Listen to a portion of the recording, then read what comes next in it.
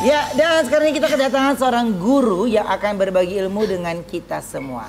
Kita panggil ini dia, Hustaza Lulung. Untuk dia tidur.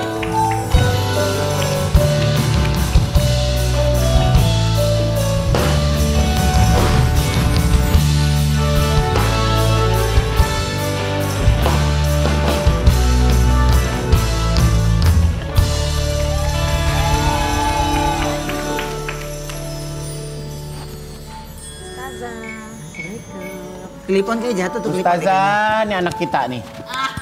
Eh, apa kabar Neng? Eh, Neng Tong. Iya. Sehat. Silakan duduk, Ustazah. Aku ada artikel. Coba kita lihat artikelnya. Ini dia. Ustazah Lulung Mumtaza, pendakwa spesialis rumah tangga dan percintaan. Nah, lu siapa tahu mau tanya sama Ustazah nih, Us. Tentang rumah tangga. Nah, Terus. Eh, apa? Nggak usah daus dulu deh. Kita kebetulan ada pertanyaan nih dari manis yang ada di rumah untuk Umi nih, Mi. Nah, ya. kenapa tuh? Coba kita dengar pertanyaannya apa sih?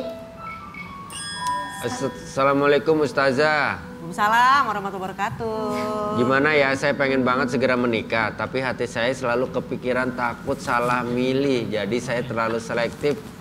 Alhasil jomblo terus. Gimana sih caranya biar nggak ketutupan igun? Biar nggak terlalu pemilih, tapi bisa memilih yang terbaik tuh. Asik. Asik. ya. Pilihlah aku jadi suamimu gitu lah ya. Atau jadi istri.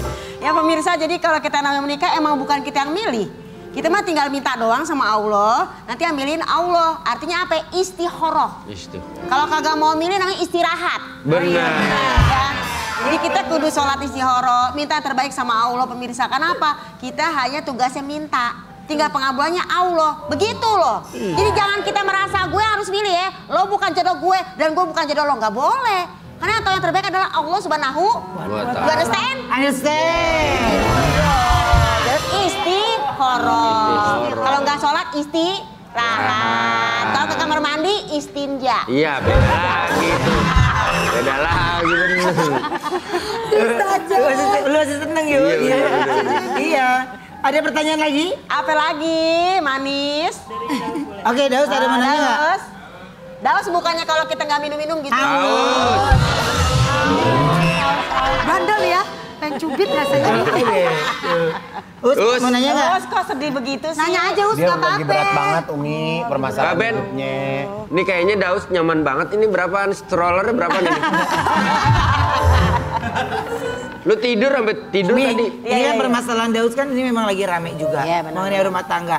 Cekcok, terus juga apalagi ini yang ketiga kali Daus gagal. ketiga kali. Nah, apa sih Mi yang bisa disampaikan untuk bisa supaya Daus juga tetap semangat gitu? Jadi, Daus. Bengong, jangan Jangan sampai sedih-sedih. Sedih itu boleh tapi jangan berlebihan. Biasa aja keles.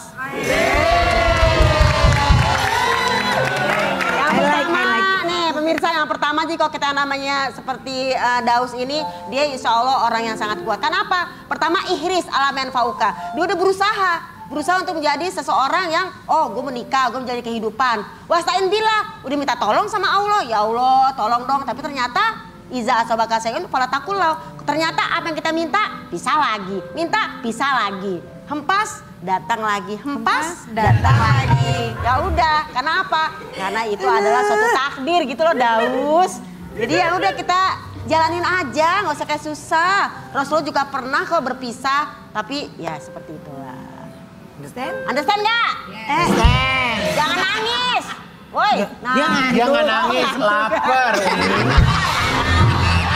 Ada satu lagi pertanyaan dari netizen coba ya. Tapi kalau pada mau nanya boleh sama Umi ya. Ya.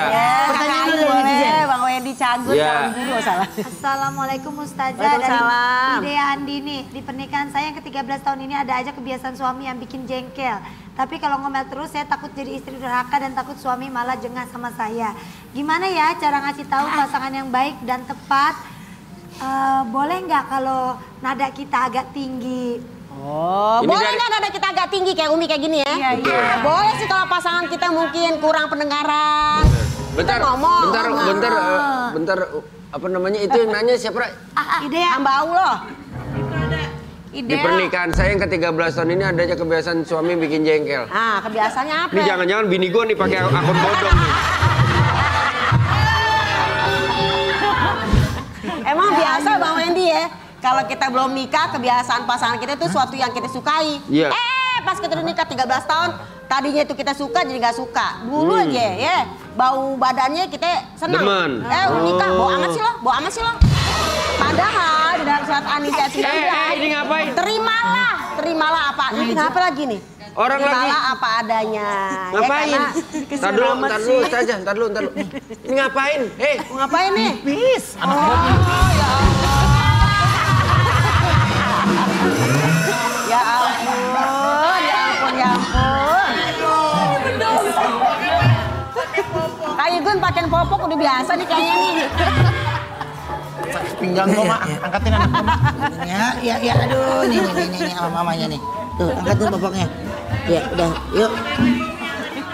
Terus Mi, terus Mi. Ya, jadi pemirsa kalau yang namanya Tahan apa? Tahan, kita ini tahan. menikah ya, eh, bahwasanya yang namanya orang tuh pasti punya kekurangan. Iza karitumuhuna jika kamu benci sama sesuatu yang dijengkel, menjengkelkan itu, kamu terima. Kita juga punya sesuatu yang menjengkelkan kok buat pasangan kita. Betul. Emang dia doang menjengkelkan. Ah, kita juga kadang-kadang menjengkelkan. Betul. Dia kurang kita kurang, dia Ah. lebih kita lebih.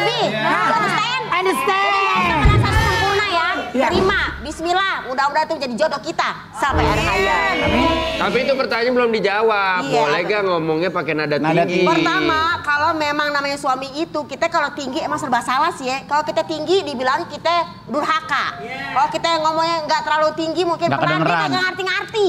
Kadang-kadang kita juga perempuan jadi pakai yang namanya kode-kode, dia kagak suka ngerti tuh suami. Iya. Ini kan ngomongnya sekalian. Nih kadang-kadang lampu mati, bang, lampu mati bang. Oh lampu mati ya, ya udah dia tetap main game. Kode. harus kita ngomong, Iya. bang lampu mati gantiin dong. Iya. Nggak usah pakai namanya kode. Nggak usah pakai basa-basi. Nggak usah pakai basa-basi. Kita bilang sama suami tuh BMM. Apa tuh? Berpikir, memilih, Ah. memutuskan. Ah. Bang, pikirkan kalau lampu nggak dinyalain bagaimana tolong ganti. Ya kan, berpikir tuh. Ah. Memilih, sekarang abang mau masang apa saya mau masang. Ya. Memutuskan, kalau nggak juga saya masang nih. Nah, kita kasih keputusan. Berarti komunikasi ya, Mi. That's right. Bentar, bentar, bentar. Bentar, bentar, Mi. Kan itu pertanyaan. Ah. Butuh saran. Uh. Kok Mi jadi curhat? Kenapa? Oh, ya. Kita kembali selain saat ini. Kita berani, kita berani,